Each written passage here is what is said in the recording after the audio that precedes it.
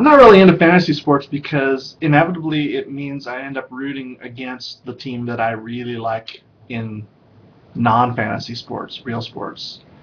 And I'm not really down with rooting against the Packers, for instance. So I don't want to just hope that some wide receiver opposite them gets 300 yards, but somehow the team loses because the Packers beat them. I, I don't like I don't like thinking that much when I'm watching the Packers. So I kind of just avoid all fantasy sports for that reason. I would do rotisserie because that takes place in a different universe, but fortunately I've managed to avoid that pretty much, ex- with the exception of my college roommate, who is now too busy to run his rotisserie baseball league. So right now I'm doing none, and we'll probably just keep it that way. Although I am in the survival league on the W.